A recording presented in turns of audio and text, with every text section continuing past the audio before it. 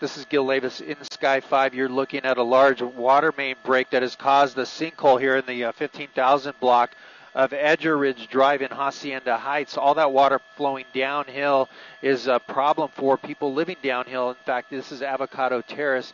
The 3200 block of Avocado Terrace and mud flowing along on all across that road. It's going into at least one home here. You can see the garage that is impacted uh, by that mud, but uh, a, uh, a sheriff's unit also impacted in the mud flow itself, blocked by some uh, big tree branches and rocks here. But this water continues to flow at this point. They are doing some evacuations on nearby homes. Residents are coming out to see what is going on here. But again, a large water main break has caused a sinkhole and it is flowing mud down into homes here in Hacienda Heights. That's the latest overhead up in Sky 5.